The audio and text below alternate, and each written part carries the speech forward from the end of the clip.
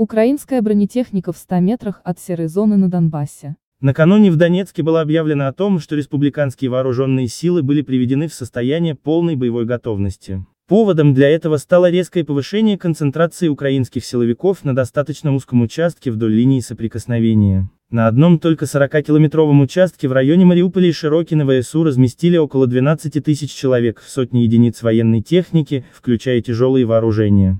При этом основной контингент ВСУ штурмовые подразделения. На основе этого факта был сделан вывод о том, что Киев готовит наступление для прорыва на южном участке фронта с целью выхода к российской границе и отрезания ДНР от Азовского моря. Накануне украинские войска осуществили несколько десятков обстрелов сопредельной территории, применив в том числе минометы. Сообщается о гибели двоих военнослужащих НМ ДНР, штаб так называемый АОС заявляет об ответном огне с позиции армии ДНР и получении ранения одним украинским военнослужащим. При этом в материале пресс-службы АОС говорится, что с начала 15 декабря войска ДНР, которых Киев, продолжающий гражданскую войну против собственного народа, называет российско-террористическими или оккупационными, по позициям ВСУ огонь не открывали. Чего нельзя сказать о самих украинских войсках. На этом фоне украинские силовики осуществляют пропагандистские акции среди населения территорий, прилегающих к линии соприкосновения. Так, в одной из мариупольских школ была проведена агитационная акция в поддержку украинских пограничников. В ходе этого мероприятия учащимся в том числе и начальных классов было сообщено, что украинские пограничники сдерживают российских агрессоров. Младшеклассников облачили в зеленые береты,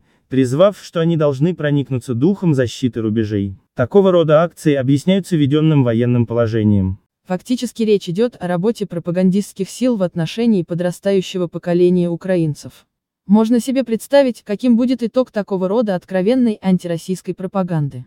Украинскими волонтерами публикуются снимки бронетехники на позициях 72-й бригады ВСУ. Отмечается, что от позиций до так называемой серой зоны около 100 метров.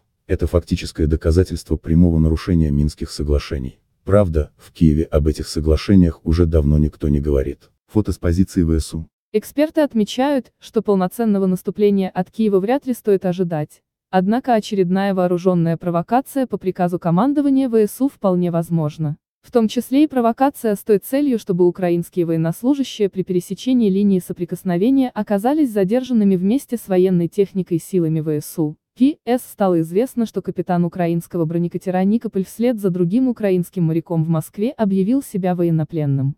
Фамилия капитана Никополя Небылица, Богдан Небылица.